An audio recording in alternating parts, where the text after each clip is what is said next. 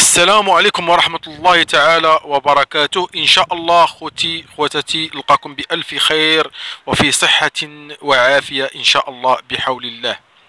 أعود إلى موضوع أسامة العجمي المتهم في حساب حمزة مونبيبي والمتهم الرئيسي والمسير لهذا الحساب آه، تحت إدارة آه، باطمة دنيا باطمة وأخواتها وهنا أؤكد أن أسامة العجمي كان كيدير هذا الحساب آه، تحت الإشراف هاد العصابة و اللي ورطاتهم سعيدة الشرف. في هذا الحساب ودعاتهم وهنا فين حصلوا كاملين. وإن شاء الله آه نالوا العقاب ديالو. وكنتسناو دنيا بطمه تلقى حتى هي ديك العقاب ديالها اللي كتستحق. آه كما آه سمعنا مؤخرا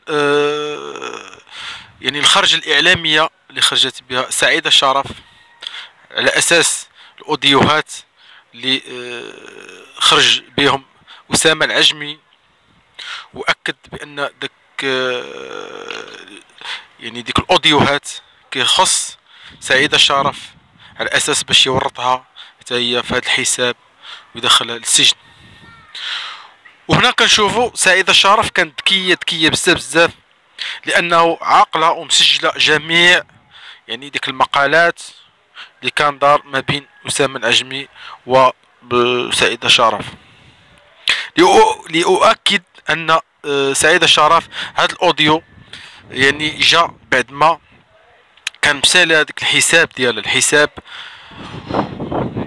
يعني اتصل بهذاك أسامة عجمي وقال له بان ممكن نرجع لك الحساب ديالو ديالك. وهنا في كانت عملت ثقة تامة لهاد أسامة باش خلات آه، سعيده شرف ترسل له الباسبور جواز السفر ديالها آه، لاخذ الصورة ديالها والعنوان وهذا كامل. يعني ديك آه، الفكرة الجهنمية ديال آه، باطمة باش ينشروا لها ديك التصاور ديالها والمعلومات ديالها كاملين في الإنستغرام وفي مواقع التواصل الاجتماعي. وهي ما كانش كدري هادشي كامل حتى لقات هادشي كامل في في هاد المواقع وتصدمات وكانت صدمة كبيرة كبيرة. ما كانتش عارفة بأن هاد الحساب حمزة مون بيبي كتنتمي لهاد المجموعة ديال الدنيا باطمة إلا بعد ما اكتشفت في واحد الحوار أنها كانت أو كانوا كي آه، يسخروا منها هي وداك سيمو بالبشير في واحد الحوار آه، هنا في مدينة الدار البيضاء ونعتها بشتى أنواع. يعني حاشاكم آه، بالبقار وما إلى ذلك. هنا فين كانت صدمات؟ هنا في كانت آه، النقطة اللي فاضت وقامت ب يعني بإرسال شكاية لدى الوكيل الملك بمدينة مراكش. كما نذكر أن الأستاذ مديمي حتى هو يعني رئيس حقوق الإنسان حقوق الإنسان أنه قام برفع الشكاية ولاو جوج شكايات. وهنا في بدات الحكاية وهنا في بدات القصة والرواية باش بداو يقبطوا المتهمين. كما كما قلت مؤخرا بيادق عسيم مظاهر يعني وسكينة جلامور اللي كانوا آه، هادو كنقول لهم إلا بيادق. أنهم آه، يعني آه، كانوا كيتمولوا عن طريق هذه العصابة. أموال طائلة طائلة وجا دور الأسامة العجمي اللي حتى هو تعتقل. بعد ما اكتشف القاضي الأموال اللي كان كيتسلمها وأنه ما كانش خدام ولقى بان عندو ديك 37 مليون. بعد ما طرح لي الأسئلة وقالوا بان هاد 37 مليون منين جاتك؟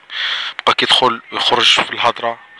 وهنا كنلقاو أن ديك المحامية محامية أسامة العجمي آه، خرجت بواحد الحوار وكتأكد فيه أنه هاد أسامة بريء من جميع التهم. وكيف يمكن أن القضاء يبرأ هاد السيد هاد الهاكر اللي تلاعب يعني بالحسابات ديال آه، الناس بما في ذلك آه، سعيد شرف وجميع الدلائل والحجج ضده والجهات المحامية وتأكد بأن موكلها بريء من جميع التهم المنسوبة إليه. وهنا آه، كتحكم يعني المحكمة بسنتان سجنا. لكل من أسامة وغلامور وسيمو ظاهر والبقية مازال تأتي لأن هناك المحاكمة في الأيام القليلة القليلة القادمة سوف يتم محاكمة عيشة عياش واللي كانت جايبة مع اللي جايبة مع الدلائل ضد دنيا باطمة اللي غتمكن هي من الاعتقال. كما أصدر القاضي آه، التحقيق حكما وتعويض مادي لكل من سعيد الشرف عشرة المليون كمبلغ مادي والأستاذ المديمي لتاو أربعة المليون. ومصطفى ماهر اللي غي تاو يعني التعويض المادي ديالو عشرة المليون.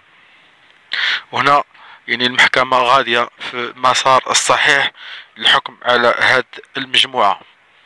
لأن المجموعة آه، مازال هناك ضحايا كسار كسار كسار بزاف والملف لموضوع أمام قادة التحقيق مازال كي يعين يعين هاد الملفات والشكاوي لكل ضحية وديك المبالغ اللي غتكون آه، في الحكم اللي غتصدر كتعويض لجميع الضحايا يمكننا نقولوا هذا إنصاف. إنصاف ليهم آه، كتعويض مادي عن الضرر للحقهم وإن شاء الله يكون واحد الحكم صادر وعلني. وما بغيناش غير ديك الحكم يعني السجن ولا بغينا حتى ديك الحكم يعني المادي باش يستافدوا هاد الضحايا لأنهم كانوا عانوا وعانوا بزاف بزاف في الحياة ديالهم وتمكنوا من آه، من هذا التعويض إن شاء الله بحول الله. وأعود آه، لأذكر أن هذا آه، الحساب اللي اللي قاموا به هاد العصابة فهو مازال ساري المفعول. وهناك عصابة خارج أرض الوطن. كتحكم فيه. هناك كما نقولوا النقافات ديال هاد الدنيا باطمة فهم آه، كيتحكموا في هاد هاد الحساب و باش يبينوا حقائق أن هذا غير آه، ظلم وعدوان لهذه العصابة وأنهم أبرياء. وبالأخص كيركزوا على الدنيا بطمة أنها بريئة من هاد الشي كامل وهادشي كامل ملفق لها ولكن دلائل جاية إن شاء الله بحول الله في الأيام قليلة الماضية من طرف عائشة عياش لصدر مذكرة البحث الدولية أجل القبض عليها وبالفعل الإمارات دولة الإمارات قام بتسليم هاد السيدة قصد الحكم عليها في مدينة مراكش.